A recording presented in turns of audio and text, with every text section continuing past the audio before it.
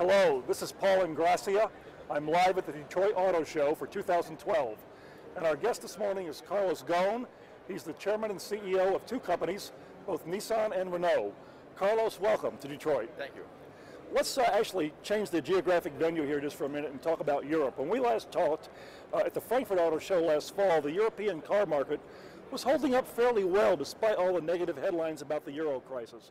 What's going on in Europe now and what's your outlook for the Euro crisis and its effect on sales in Europe in 2012?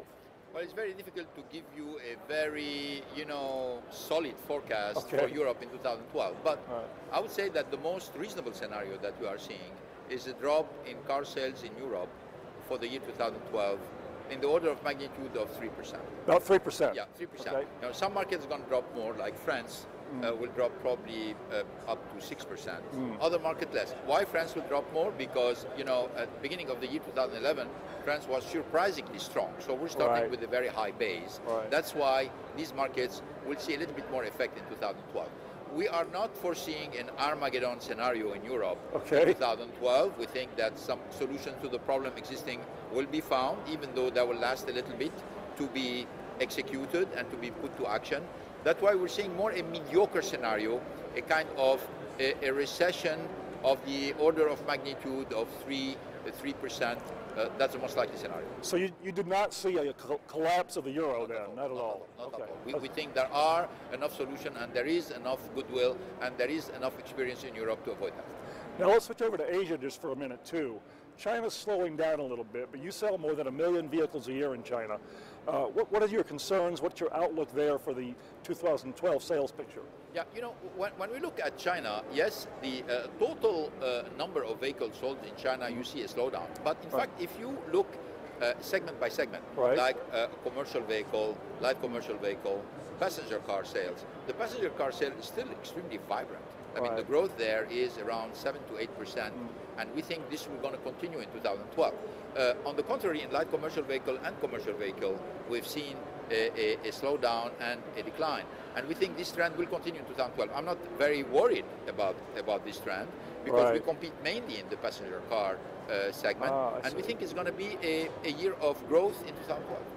So here's the irony. Here we are in Detroit, 2012. Uh, three years ago in the 2009 show, two of the companies, Chrysler and General Motors, were nearing bankruptcy. Now the U.S. market is sort of thought of as a stable, growing market, uh, sort of a underpinning the global auto industry really for this year. What, what's your outlook for this market?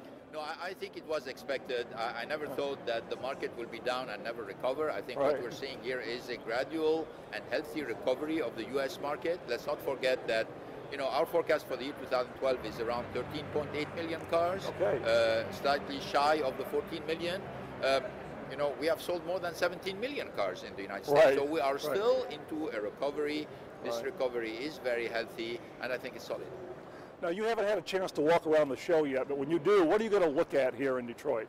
Well, mainly what are the major product launch for the US in, 2000, in 2012, Okay. and what are the major technological innovation that competitors are putting. You know, this is a big party where you know we, we all know each other. We go visit each other. Right. You know, new babies and new products and new technologies. We exchange about them. And you know, I'm not going to be an exception. I'm going to do this, and I'll do it with pleasure.